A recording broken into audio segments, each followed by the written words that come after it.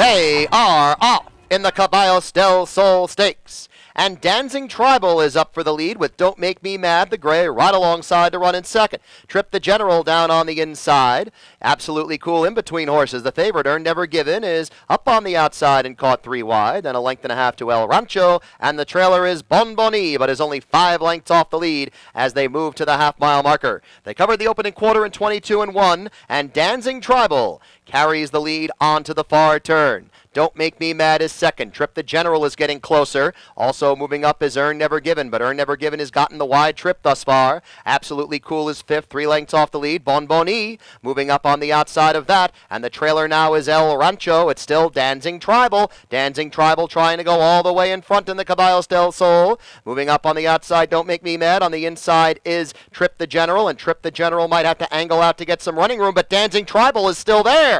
Danzing Tribal has it by two. Trip the General trying to run on now. It's Danzing Tribal is in front. Absolutely Cool is absolutely flying. It is Danzing Tribal, absolutely cool. Trip the General, Danzing Tribal held on to win. With absolutely cool, Trip the General and Earn Never Given.